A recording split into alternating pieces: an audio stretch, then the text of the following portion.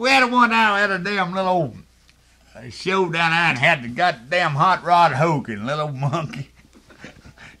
they they pour a little measure of gas and put this goddamn little hot rod. They run this motor on, and the gas run about three minutes. See, they put enough in it. They crank it, put hot rod in there. God damn, he run there chewing a goddamn ear of corn goddamn just circling that goddamn. He run out, gas, he dripped down there. Goddamn, just quick as that goddamn thing stopped. He just ran up there and layer back and just beat that goddamn meat.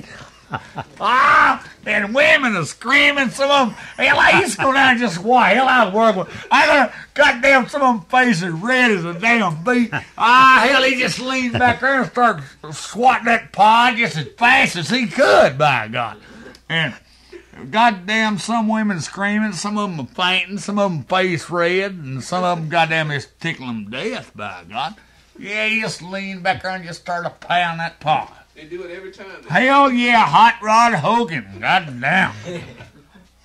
Hell, they get him out there badly. God damn, he get us there and beat him up a batch. They get him out. All right, come on, everybody, see Hot Rod Hogan. Only monkey in existence that rides a, a car and a motordrome. Hell, he just leaned back there, you know, that damn chimpanzee grin. Ah, he just pop that pod out there and goddamn women screaming, run every goddamn one. Why, hell for? tickle the hell out of me. I go down and just watch it. Goddamn, just look at the expression on damn people's face.